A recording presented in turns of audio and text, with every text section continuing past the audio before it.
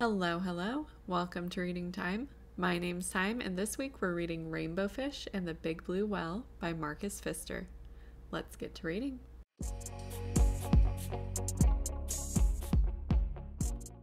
Rainbow Fish and the Big Blue Whale is a children's picture book about a group of fish led by Rainbow Fish, who is in a few other books, who are happily eating krill until a big whale moves into their neighborhood.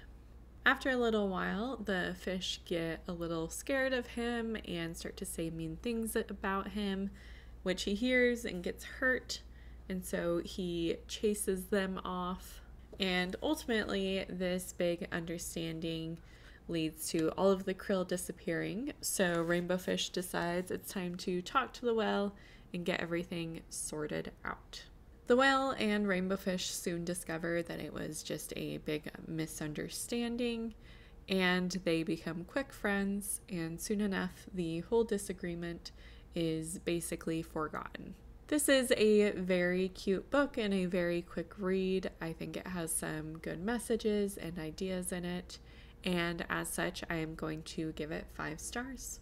Along with that, there is no concerning content to be aware of, and I would put this at a preschool to second grade reading level, although those elementary schoolers might have a better time understanding the ideas behind the story than someone in preschool might. Now, what I really like about this book is the whole idea behind it of the importance to avoid judging others based on appearances or based on incomplete information. Because the whale and the fish don't know each other, they jump to conclusions about each other and end up hurting and scaring one another. If, however, they had spoken to each other earlier on, that could have been avoided but luckily, they were able to come together and become friends in the end. It can be easy to make judgments about others, especially if we don't know much about them. But it's a lot more rewarding and a lot better if we do get to know others, especially if they are different from us. In my opinion, learning about other cultures and other beliefs and even other ways of living can enrich one's life. Students could share times when they have become friends with others this may also be a good opportunity to do a pen pal situation where students may have an opportunity to learn more about people from a different area than where they live.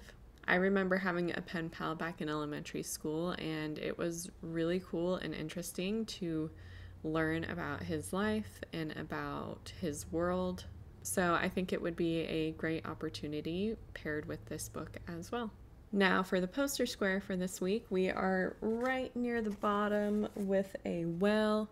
And this one didn't really, really want to scratch off very well, so it's a little hard to see. Let me know what you think of Rainbow Fish and the Big Blue Whale in the comments below.